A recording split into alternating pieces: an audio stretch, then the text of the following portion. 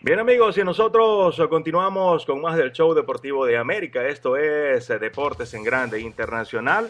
Y bueno, tenemos en línea a una de las figuras responsables eh, del campeonato obtenido por el equipo de San Marino en el béisbol italiano.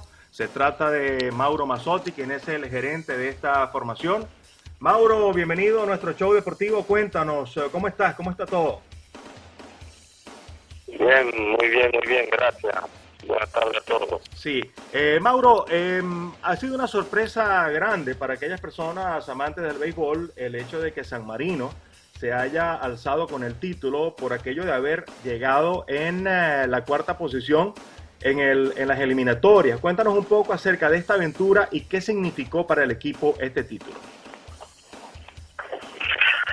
Nosotros eh, venimos desde dos años seguidos ganando el título en el 2011, en el 2012 y empezamos la temporada regular este año en el 2013 con algún problema y tenemos varios, varios peloteros lesionados y, de, una forma que nunca nunca nunca tenemos una buena racha durante durante la temporada regular cuando el último, mes de temporada regular empezamos a, jugar bien, recuperamos todo lo que estaba lesionado durante, los meses anteriores y, y nada, clasificamos a los playoffs al última, último juego de temporada regular y jugamos los playoffs eliminando Bolonia semifinal y ganando la Rimini en la final.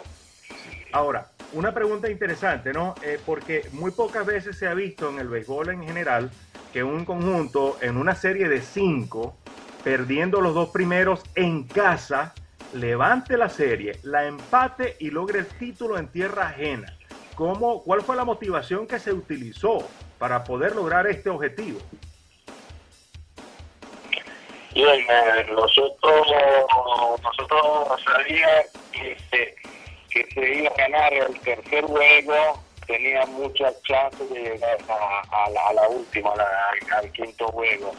Y estaban perdiendo, estaban perdiendo al quinto o sexto inning cuando cuando pusieron bateando con estaban perdiendo 1-0 y bateando a Aero Ramos le pusieron un relevo zurdo y Ramos eh, dio rompe tres y de ahí adelante yo creo que toda la serie dio una, dio una vuelta a favor de nosotros, nosotros ganamos ese juego, ganamos el, ganamos el día siguiente y llegamos al quinto, al, quinto de último juego y, le ganamos ahí también.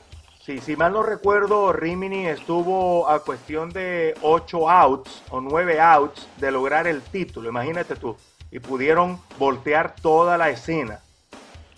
Es algo que se ha visto poco. Sí, sí, eso, sí. eso sí. Por eso que digo que, que el horrón, que el horrón de, de Jairo Ramos le cortó un poco las piernas a ellos y, y nada, empezaron a jugar que con miedo y, y nosotros de seguro no teníamos nada que perder y jugamos, y jugamos que una belleza. Y, en el, en el béisbol aquí de Italia, en el béisbol de la era pasadiza, porque, porque nadie había ganado tres años seguidos. Sí, una última pregunta, Mauro. Eh, hablemos un poquito con esta pregunta del, béisbol italiano. Eh, conocimos en el calendario que se le quitó un partido a la semana al, a la liga ¿Esto fue motivado a qué? Cuéntanos un poco de esto, porque el público quiere saber. Eso fue motivado por la crisis, por la crisis económica que, pegó aquí en ese continente y especial manera a ese país.